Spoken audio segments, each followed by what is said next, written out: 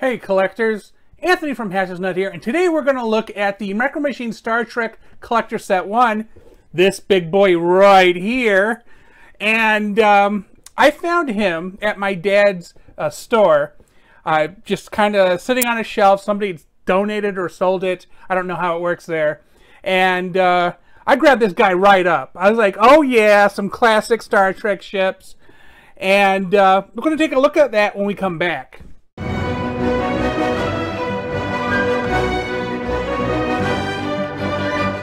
Here we are, collector set one.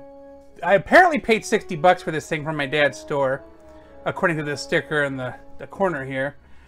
I uh, didn't have any of these ships, and I'm like so happy that I finally have them now. And it just, oh god, I just I'm so close to collecting everything, but the last two ships are so expensive.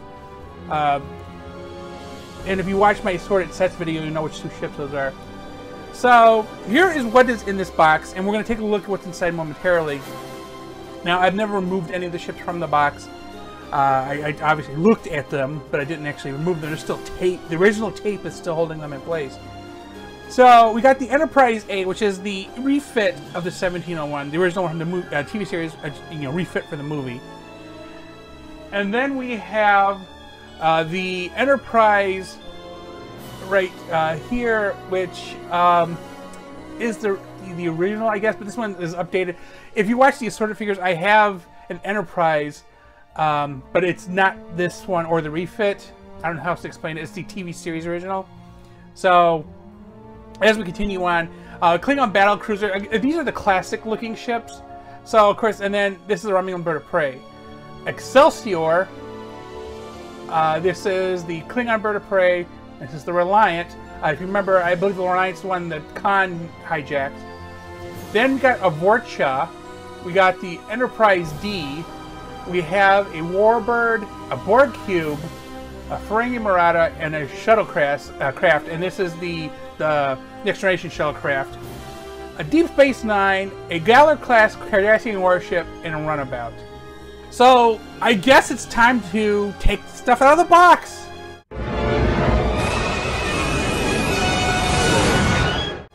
So we finally got them out of the box, and the box had this nifty diorama, so that's in the background here. And uh, I kind of split things up, Federation, um, non-Federation, or, you know, this is called the Terok Nor for right now. um, so let's start with the thing that, like, I thought was common with these ships, but this uh, bird of prey doesn't have the bendable rings, uh, wings like the Bounty. It's a little disappointing, but he's still got some nifty brown and red coloring on the wings. And this is an actual Klingon, unlike the Bounty, which for some reason had English on it. so, um, yeah, it's, it's fantastic looking. I just wish the wings did a little bit more. And then we end up with the Cardassian ship, and uh, it is is nicely colored. They have a similar pattern uh, for their ships. They have a similar look. I mean, obviously their symbol is the ship's design or vice versa. So you kind of see where they're going. There's a lot of nice little detail on here. And because it's been in the box, like the rest of these, they're all almost in perfectly new condition, which is just excellent. And if I remember the lookup on this set, uh, the fact that I got for 60 bucks, I, I, I, probably saved about 40 bucks. I think they're going for 100 for the um, the first two collector sets. Because the third collector set is, is astronomical just because the Enterprise E is in it. Uh, so yeah, just a level thing. Here is a, another Klingon ship. Has the Klingon symbol here. Um, I, I love the look. This is way more like futuristic compared to this. But then you know, here's this older one. Uh, obviously, uh, this is the newest version. It's a Vorcha, I think, and this is Bird of Prey, and this is the classic Bird of Prey. And you can see this one has the Klingon symbol on it. And uh, the one thing that bothers me is the fact that there's a hole in the top here. I feel like there was a piece here, and then maybe it got lost because there was. It definitely wasn't in in the box. So I, I realized somebody owned this before it went to my dad's store. Uh, so this bothers me a little bit, but not enough to go, huh, I wonder what. Although now I'm kind of like, oh, I can always look at the box back and find out that's that is actually the design. And here we go. So, no, there's supposed to be a cap on there uh, that covers the top and fills in that space there. So yeah, that's missing. So that's a little sad, but you know, beggars can't be choosers. But still looks good. And of course, we got the Romulan ships, uh, the classic and the new uh, Warbirds. And uh, as you can see, this one has a bird on it. How come it has an Earth bird on it? No one asks. Who knows? But uh, it has that classic design, uh, which you know, it, it's it's nice. I, I don't hate it. Uh, I actually have a diorama with this ship, uh, this ship with the proper front on it, and uh, I believe this ship uh, in in in my room, in my bedroom. So I, I you know, I, I, do like them. So don't get me wrong here. But this one uh, is, is, a nice, uh, just a white open space. I never got why this was so important. I mean, you compare it to the previous one, you're like, well, I don't know, why? I mean, there's no air and space, so really, what does it matter? But you know, that's what this looks like. So we're gonna move these aside here. Deep Space Nine, Terok Nor itself, and um, I, I, this and the cube are probably among the largest looking. The chances are they use the same amount of plastic as the Enterprise D does, but uh, this one, the, the inner ring was a little warped. Again, uh, use a low setting uh, hair dryer uh, to, to, weaken it a little bit, put it into place, let it set and cool, and you can fix it. Because you can notice the, the rings are kind of, this one's kind of off to the side here. Um, just the way it is, it's been stored for who knows how long. Uh, but uh, yeah, Deep Space Nine, it's just, it's really good looking. Uh, just nicely detailed. It kind of reminds me of those fidget spinners, except, you know, the, the locks are in the way. Alright, going on here. Borg Cube, I know it's not Federation. I just trying to balance things out, and my brain went, well, I put them like this, but my brain was like, nah, that's not. So, Borg Cube, it is... Actually, hold on, I'm gonna... Okay, well, that's different. That's the copyright information. It's That's not actually on a Borg Cube. Okay, so this is the bottom. Here's the top. Uh, just imagine that life-size coming at you. Um, yeah, you would run. I, I do like the, there's like three colors on here. There's the base, kind of like the, the metal gray, and then there's like lighter color and a darker brown, like a tannin brown. I guess it's supposed to look like the nodes are in process or something, or lit up. And uh, that, that's that's okay. That's that's actually nice it feels hollow. I'm just to point that out. I feel like it's hollow. I should also mention that this set, in addition to not having the top of the ship, now it's to start bothering me. I don't have the top of the ship. Um, it did not come with stands, so I don't have stands to put these on. Uh, that's a little sad. So let's let's get into the uh, enterprises. We're to grab the enterprises uh, that are in this set. And we start with the classic one, which I already kind of showed you a second ago the 1701. Uh, I I want to believe that this is the updated one because uh, I think I have the original one in, in another set. Uh, so this is this is kind of like you just fix the nacelles on it, give it these little fins. Uh, I mean, it's a fairly plain looking. You, you, can tell it has some designs in the saucer, uh, kind of like a wheel pattern spokes. Uh, but I mean, otherwise straightforward. A nice dish on the front here. Uh, metal part in the back here for the dock. Yeah, so that's pretty good. So let's um, take a look at the A, which is its re movie refit. A little bit sleeker. Uh, the the saucer, my understanding is this ship's actually a little bit smaller, but then the Enterprise C is even smaller. Uh, and then the B is basically like the Excelsior here. So basically, um, you see that the spoke pattern is a lot more pronounced here.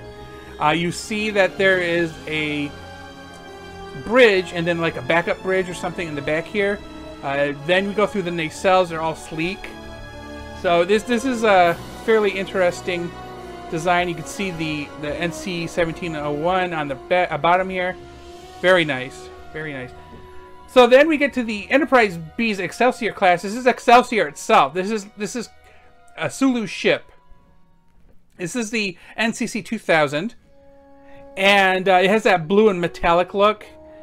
You know, the funny thing is, it kind of reminds me of like the Titan came after all these ships, obviously 80, 100 years later, and the Titan's design it reminds me of the Excelsior design. So I, I just thought that was interesting. Maybe there's a relationship here. Maybe that's that's the leap. But uh, you see the nice blue detailing on the nacelles, a uh, red along for the uh, lights. Uh, here is the dock. And um, yeah, I, I, I, love the detail and design on it. And here's his dish. And uh, I'm going to assume this would be where the captain's yacht would be if they had one. I don't know if it does.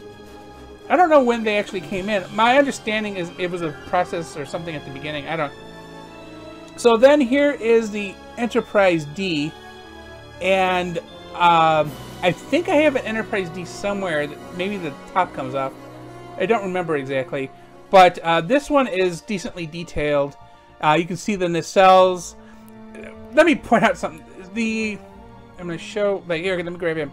So you notice the detail on the sides here, and uh, there's kind of nothing on here. On here, they kind of flip it a little bit, put the details on the top, and then the, the nacelles are lit up around the sides and in the front rather than in the back so it's kind of like a cross between the original and the refit in that design and you kind of see the inspirations as in they go along here and uh, you see the, the laser array on the top and bottom uses dish so yeah, it's uh, it's pretty sleek looking when you think about it compared to its previous ships, and also a lot larger in reality.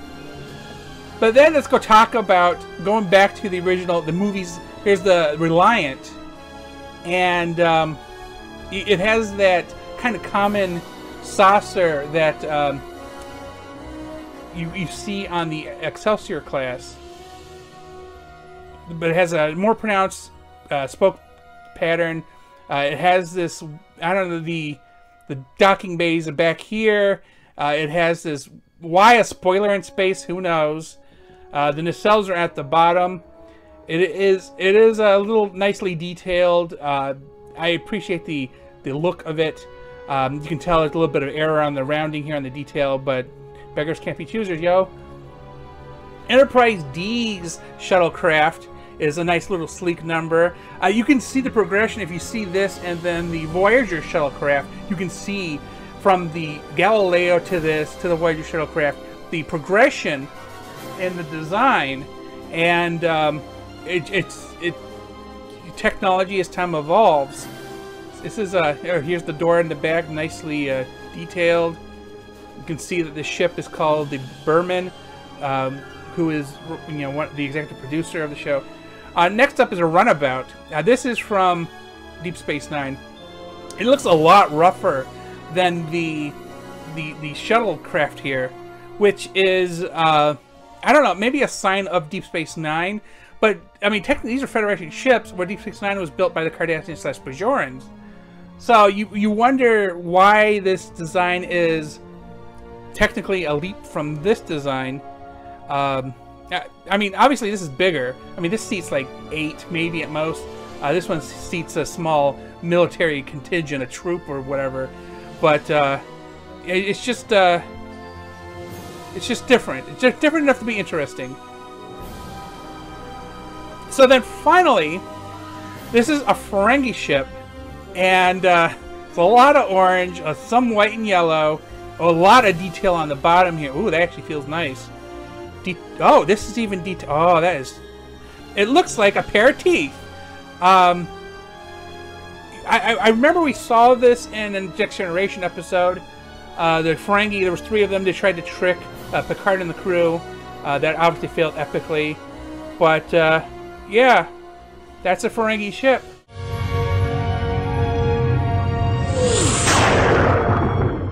Then that is the uh, first collector set. Do you have any of these? Let me know in the comments. What, uh, what about your favorite show, captain, etc.? Thanks for watching, and please remember to like and subscribe.